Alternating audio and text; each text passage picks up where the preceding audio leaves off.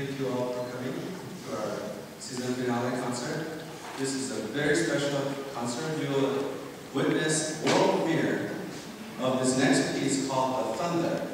And I will uh, introduce you to the composer after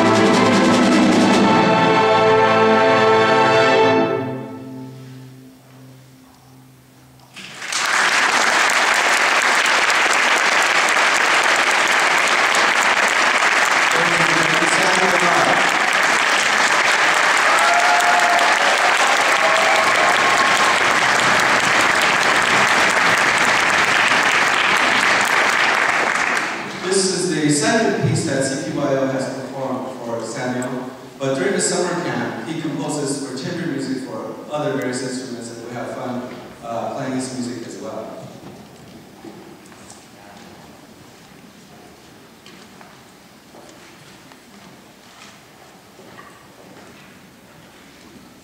By the way, I have to uh, tell you that through all my musical experience going to concerts, that CPYO, certain experience here versus any other concerts. And that is, I have to admit, there's not enough applause. you should go to some opera. They're, they, they wail away. Bravo! Bravo!